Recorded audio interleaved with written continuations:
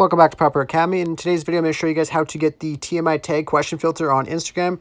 Really easy to do and just takes less than a minute. So you guys want to start Instagram and go to the search bar and type in this account, A-I-N-U-R-T-E-R-M-I-Z-I, and click on that account and click on the filters option and you just got to scroll down and you will see it right here, TMI tag question. And like all filters, you could try it or save it to your camera roll to use later. I hope this helped you guys out. If it did, leave a like and subscribe for more. Thanks for watching.